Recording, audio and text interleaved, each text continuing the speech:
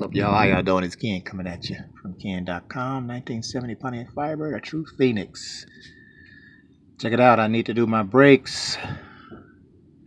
So I already have this cable here, which is the cable that goes inside the vehicle to the handbrake.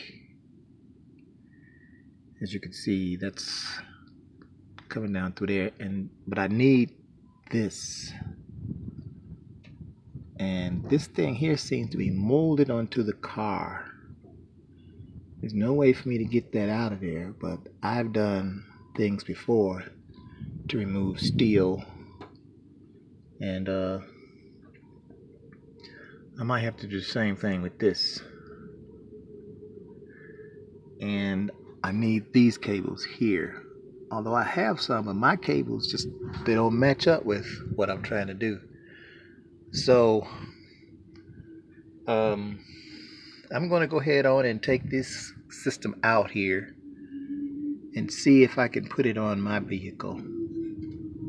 Problem I'm going to have is it's hot, not real hot, it's about an 89 or something like that, 87.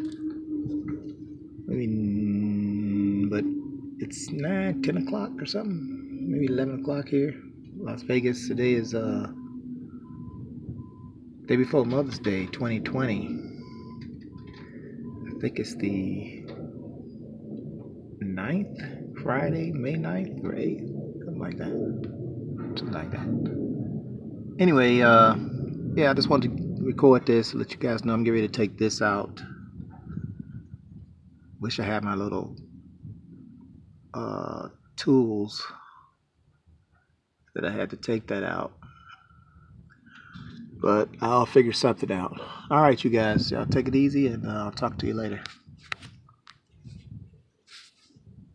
Take a picture of this.